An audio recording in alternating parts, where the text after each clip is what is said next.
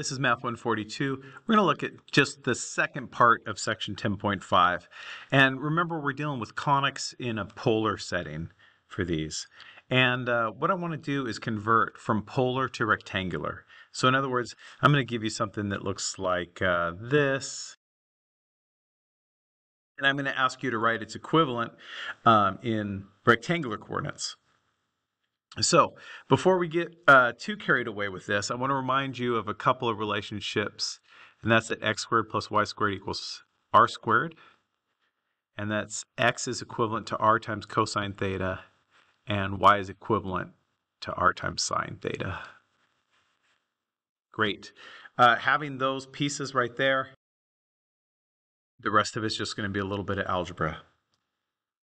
So let's go ahead and give that a go for this. So I want to rewrite this. This is in polar, right? R and theta, R theta. I want to rewrite it in terms of um, do, do, do rectangular. So a little bit of space. So first thing I notice is I have this, this is a fraction. I'm not real happy with that fraction. So I'm going to multiply both sides by the denominator to, to get it out of there. So I'm going to multiply this side by that. I'm going to multiply this side by it.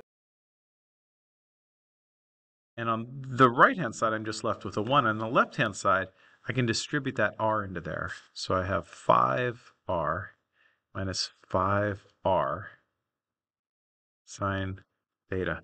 Let's take care of what we know right now. We know that um, we know r sine theta.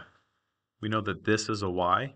So let's just replace that with a y right now, and then we'll worry about the rest of it. So 5r minus 5y equals 1. Okay, so far, so uh, decent. Um, I just have an r, but really, I want an r squared. So what I'm going to do is I'm going to get uh, at least the 5r all alone and then square both sides. So I could add 5y to both sides. And you know, I, I rewrote it as 5y early just so I didn't have to lug around all the r sine theta stuff. And plus, that's my goal, to get it into this form. And then on this side, I just have 5r. And now um, I want an r squared, so what I'm going to do is I'm going to square both sides. And that's a beautiful thing. Uh, 5r squared, both the 5 and the r squared, so 25r squared. And when I square 1 plus 5y, Remember what it means to square something. It means multiply it by itself. You're going 1 plus 5y multiplied by 1 plus 5y. And you multiply that out, you get 1. You get 2 of those 5y's, so plus 10y. And you get 5y times 5y, which, uh, which is 25y squared. Still pretty good. I got rid of all the r's and x's over here. I haven't gotten rid of them over here, but I know that r squared is x squared plus y squared. So I'm going to replace that r squared with an x squared plus y squared. Still multiplied by 25, and I'm not going to rewrite it, but I still have this right side over here. Distribute this into here. So now I have 25x squared plus 25y squared equals 1 plus 10y plus 25y squared. And uh, just to get it all together, you can either get this right side equal to 1 or get it equal to 0. Um, but let's let's do that. Let's let's get it equal to 1 in this case. Uh, subtract 25y squared from both sides, which is nice. That goes away. And subtract 10y from both sides. And I might write this as 25x squared minus 10y equals 1. And if you want it equal to 0, subtract the 1. There you go. You got that. It's pretty easy to check if you're right, right? Like you could graph that in Desmos and then go back and then also graph your original equation in Desmos and they'll, they'll give you the same shape. They'll show you the same shape. Let's do, uh, let's do another one. Just one more. This will be a, a reasonably short lecture. Same sort of idea. I want to get rid of r's and thetas, get everything just in terms of x's and y's. So how about I multiply both sides by that denominator, over here it divides out, distribute that r into there. And that r cos theta, that's a beautiful thing because that is just an x. So I'm going to place this right here with an x.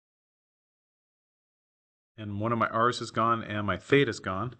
Still want to get rid of this r, uh, which is x squared plus y squared. So how about I, I, well, r squared is that. So how about I get it alone and then square it? So subtract 2x from both sides, get it out of there. And now I've got r equals 2 minus 2x. So then from here, uh, I want an r squared, so I'm going to square both sides. Square this side, square this side. Um, here I've got r squared, so that's x squared plus y squared. Over this side, I've got to multiply it out. Remember, this isn't just 4 minus, uh, plus 4x. you got to multiply it out. Squared means times itself. This would be 4 minus 2 of those 4x's, so minus 8x. Uh, negative 2x times negative 2x is positive 4x squared. And then what you could do is you could move everything over to the right-hand side, right? Subtract the 4x squared. So if I subtract the 4x squared, that gives me a negative 3x squared.